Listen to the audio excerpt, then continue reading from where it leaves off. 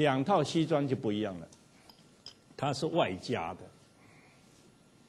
它最起码有三。我认为各位以后要读中文书，一句话出来，你最起码要举一反三。它最起码有三个意思。第一个是什么？就是佛要金装，人要衣装。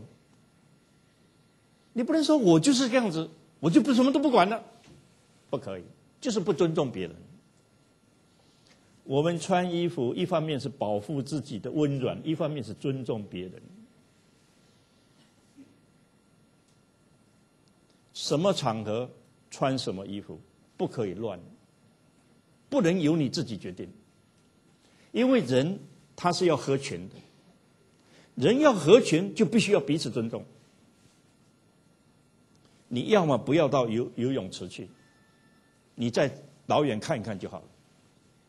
你要进游泳池，你就要换游泳装。可是你离开游泳池，你就不能穿游泳装进到礼堂来，或者进到餐厅去，不可以。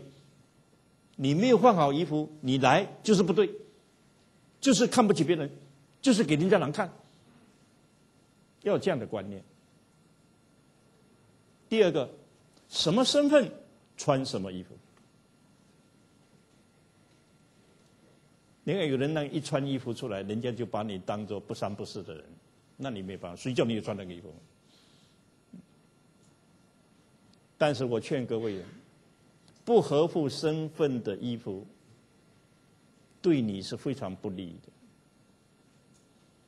因为人家要升迁的时候，一定会考虑到这一点。因为很多老总跟我讲，这个人才能各方面都很好，就是他老穿那种衣服啊。我实在没有办法提升他，我是亲耳听到这样的事情。最要紧的就是不要穿跟你的领导同样的衣服，绝对不要。你哪一天很不幸发现你的领导跟你穿的西装是同样牌子，二话不说回家换。你还在那里？领导，我穿的跟你同样牌子呢，你多少钱买的？还问人家多少钱买的？你不是自讨苦吃吗？西方人可以，因为西方人他是平等的，他无所谓。中文不行就不行。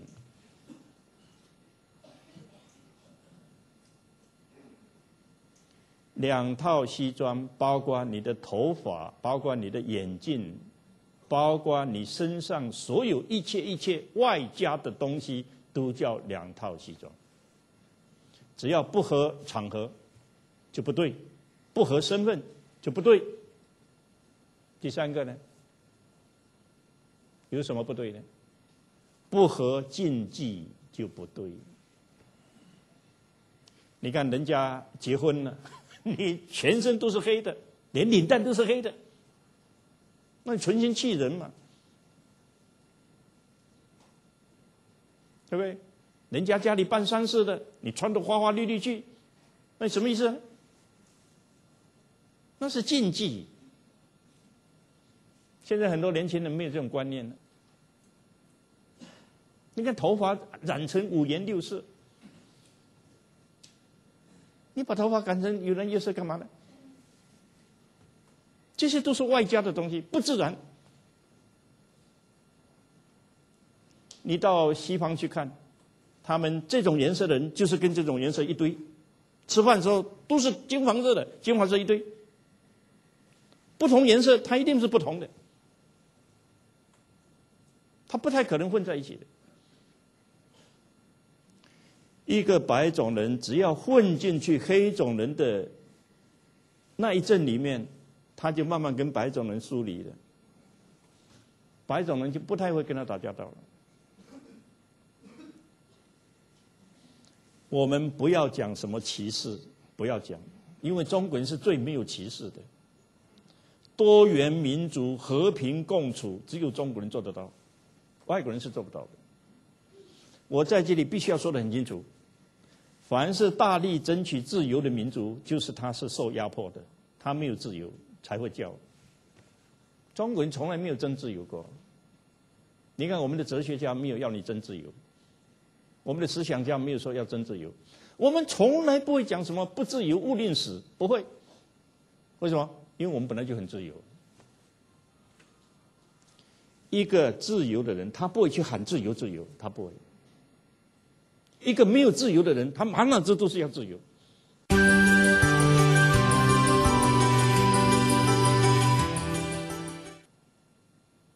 西方人对人是好奇的，所以它一会变一种颜色，一会变一种颜色。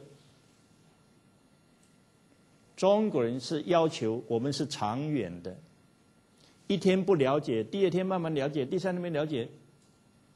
你该变的部分你去变，那没有办法掌握不住；你不该变的部分，你老变他就受不了了。你今天变成这样，明天要变成怎么样？那我怎么知道你会变成什么呢？当一个人变到让人家对你没有信心、对你没有把握的时候，你就变成不定时的炸弹，你就糟糕了。各位有没有发现，一个人他不会当面给你难堪的人，他的人际关系会比较好。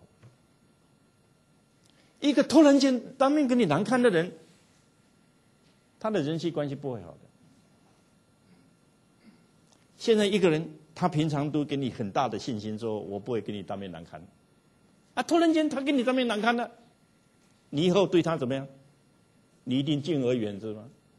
离得远远的，不敢接近他。所以西方人可以当面说我不赞成你的意见。中文大概不会这样做。我在大学里面教书，我经常问我的学生：“我说，将来有一天你去就业了，你的老板叫你去死，你去死好了，你会怎么样？”他们都很天真的。他说：“老板哪一天叫我去死，我就大声说你去死。”我问你，这样人谁要用？谁要用？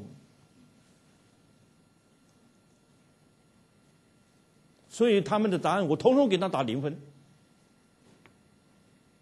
那他们就说：“那老师，那你的答案是什么？”我说：“我的答案很简单呢，你老板叫我去死，我一说好，然后我不去死就好了嘛。我跟他讲什么？有什么啰嗦好讲的？这不很容易的事情。”一个中国人犯不着当面去讲相反的意见，犯不着，因为你背后你可以不照他去做嘛。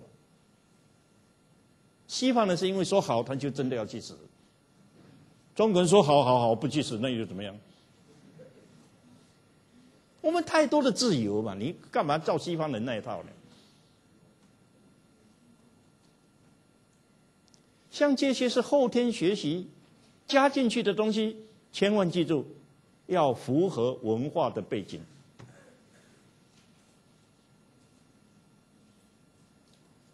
你看，一个西方人说我要退休了，他就真的要退休了；一个中国人经常讲：“哎呀，我要退休了，十年都没有退休。”对不对？西方人只要你说退休，你没有退休，你就是没有信用，你就是不诚信。中国人，哎。你不是说要退休吗？是我，我是要退休了。我一直都想退休。我跟你讲，那为什么搞这么久没有退休？没有办法啊，人家不让我退休，我有什么办法呢？他照样生存的很好。以推动管理者走向成功为己任，客户的成功就是我们的成功。与中国企业共同成长。时代光华，人际关系是在这个社会发生的东西，它离不开这个社会的文化背景，离不开。你在美国可以做的事情，在中国少做为妙。不过，我要让各位了解，有很多事情我们是错误的了解外国人。你看，现在很多年轻人他会当街两个人抱在一起呀，在那里吻成一团，我都觉得很奇怪。我说你怎么会做这种事情？他说：你看每个人都这样做，我为什么不能这样做？他错了。我在美国来来回回十四个州我都到过，我还没有看过他们这样做的，没有。那只有电影呢，搞清楚一点呢。这好莱坞电影，它就是好奇呀，它就是社会上没有的我才演呐，社会上有了我演谁看呢？那我们年轻人一看就以为可可以这样的，美国人没有这样的。你看你在电影上看到美国人在家就穿穿拖鞋，我告诉你，美国人从来不穿拖鞋，从来不穿拖鞋。你家里地毯是雪白的，很漂亮。来的人照样穿皮鞋才进来。你没有权利叫他脱鞋子，他也不需要脱。你不要上当嘛！你怎么能凭你从电影上你就去了解美国人？美国人家里头干干净净。他们的信跟报纸都放得很远，他邮差不会送到门口来，他都在离差不多有三十到五十米那边有个小信箱，他是投在哪里？因为美国的邮差是不下来的，他是开车过来放进去，开车走，他都在车上，他从不下来的。好，家里面的主妇要去拿信，他打关脚就出去了。然后拿着东西打关脚就进来。他们的观念就是外面跟里面是一样的干净嘛？为什么要穿鞋子？更妙的，我在英国读书的时候，我发现英国的学生呢，那才妙的。他们拿书、拿衣服，一进洗手间、进厕所，东西就摆地上，人就坐在里面。我们哪个去坐在里面看看？因为他们的观念，厕所是干净的地方，哪里有脏的地方？不要道听途说就相信。每一个人都应该有一个基本的要求、基本的标准，不能乱，这样人际关系才会好。你看，我们早上吃自助餐的时候，我就觉得很多人是没有资格吃自助餐的。你看自助餐东西摆在哪里？两个老人家。很温馨的，啊，这是什么啊？然后他一个，你吃吃看。那你发现你们两个口水都已经把它搞得一大堆的，人家怎么吃呢？吃自助餐的第一条，把嘴巴闭起来，否则人家没法吃。早上我用夹子在夹水果的时候。旁边来个很摩登的小姐，她等不及呀，她就拿筷子去夹了。那这样人际关系怎么会好呢？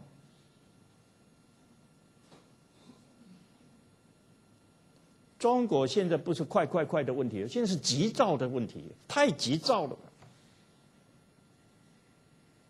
你那么急干什么？我们不懂得快耶。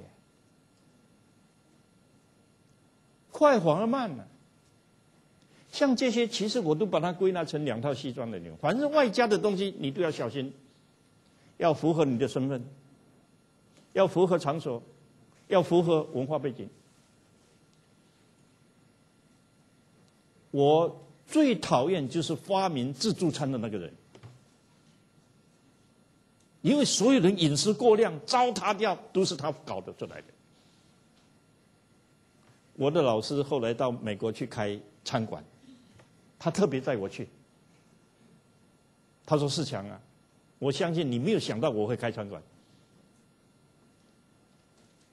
凡是老师讲的，我都说是是是是是。我心里怎么想是我的事啊，我嘴巴干嘛讲？我不是这样想，我干嘛这样讲？是是是。他就带我去看，他那个餐馆呢，一半是自助的，一半是用点的。他说：你看看用点的都吃光光。”用自助餐的，通通浪费一大堆，哪一大堆没有吃完？这是人性。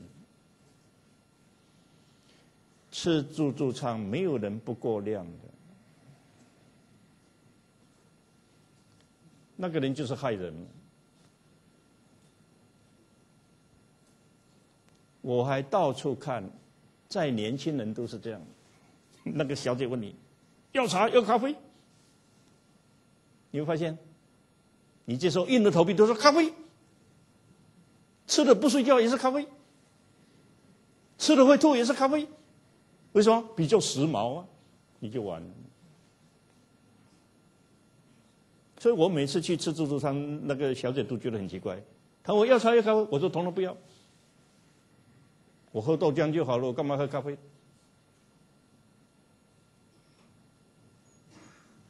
每一个人要选自己合适的，你为什么要跟着人家走？你干嘛跟人家走？现在不是时尚啊！你看两个人结婚去照那个相片，照的自己都不敢看。我就问他：“你为什么最喜欢看？”他说：“哎，看的都很脸红。”我说：“那你为什么要这样照？”他没有办法，那个摄影师叫我要这样这样。我说：“你最傻瓜了，给人家钱还听人家摆布，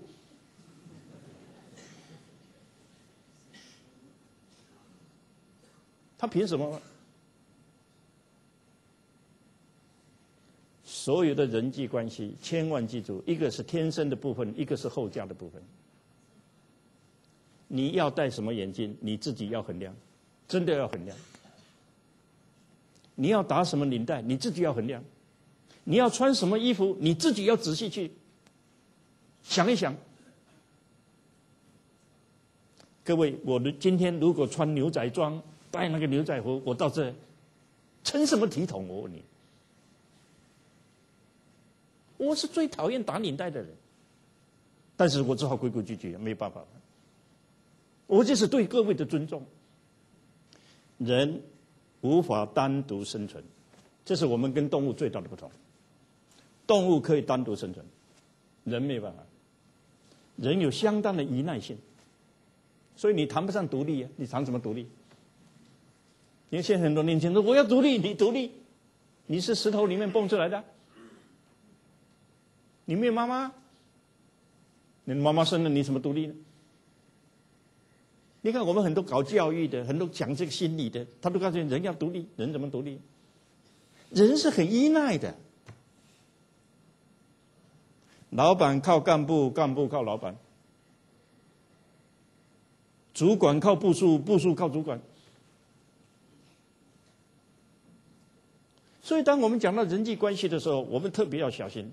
当你要改变你自己任何事情的时候，你都要详加考虑。对不对？你看一个总经理，他弄成那个头是这样的，你是干嘛？你来吧，你就不像个样子了。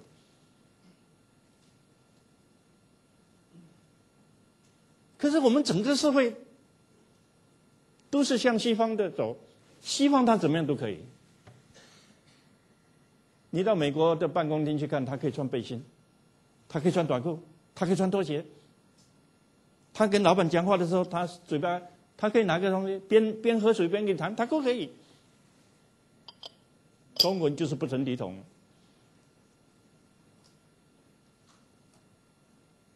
你看，我们有外宾来的时候，我们一定会告诉大家，把仪容整理整理。外国人不需要这样。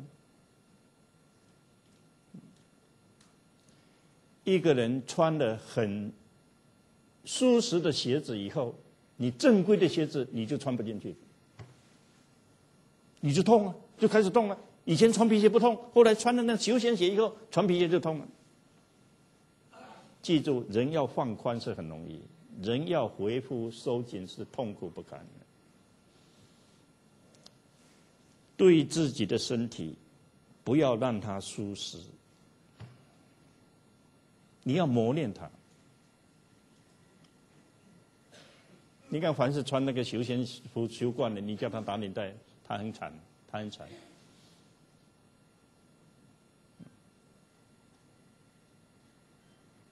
懒散惯的人，严谨是严谨不起来。所以，当我们讲到两套西装的时候，我们就要劝很多人：你该谨守本分的地方，你一定要谨守本分。否则，所有的后果你自己都要承受。你不是运动员，你整天穿休闲服，上面想升迁的时候，他一定有顾虑，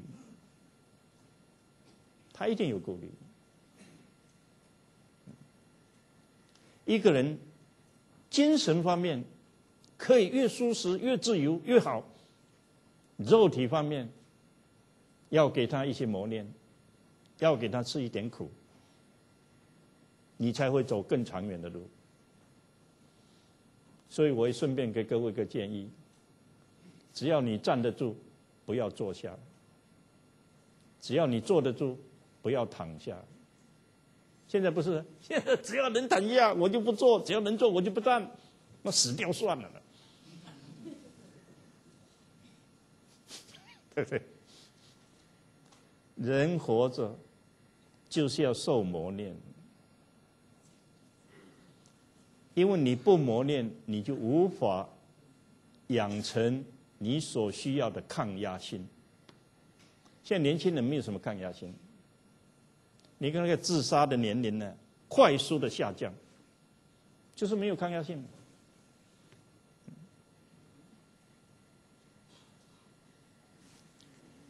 一表人才，两套西装，都是告诉你，你要准备好。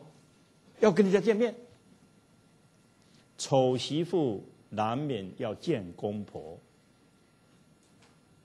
你躲人躲到什么时候？你迟早跟人见面，但是你准备好了没有？第一个，你能不能接受你自己的面貌？能不能接受？我碰到一个瞎子，我非常佩服他。他跟我在旁边吃饭，我就问他，我说我很冒昧，我非常冒昧，因为这种话不应该问的，但我很冒昧问你，你没有眼睛，会不会很不方便？他怎么回答？他说你有眼睛是不是？你只有两个眼睛，你看我没有眼睛，我告诉你，我全身都是眼睛，我比你还厉害。我说你了不起。一般的瞎子总觉得自己很委屈呀，很可怜，他就永远抬不起头来。我也看到一个两个手背都没有了，我心里想你怎么吃饭呢？后来我发现他啃瓜子啃的比我还快，他也有一套办法，因为他这里兜了两个那个圈圈嘛，他就告诉别人：“你把个圈圈拿出来，跟我套在这里，这圈圈拿套这里。”他两个人呱呱呱呱呱，他吃的比我还快。天生我材必有用，不管你缺乏什么，你都可以想办法补全。这才是我们的信心。不要一天到晚把信心摆在成功上面，我一定要成功，我一定要胜利，那是没有用的。老天爷让我活下来，我就不会饿死，这才是我们的信心。只要我自己动脑筋，我一定有办法。只要我喜欢我自己，别人一定会喜欢我。你有这个的原则，然后你去调理你自己有形无形之间的变化，你的人际关系。很快就有不同的现象，让你更满意。谢谢大家。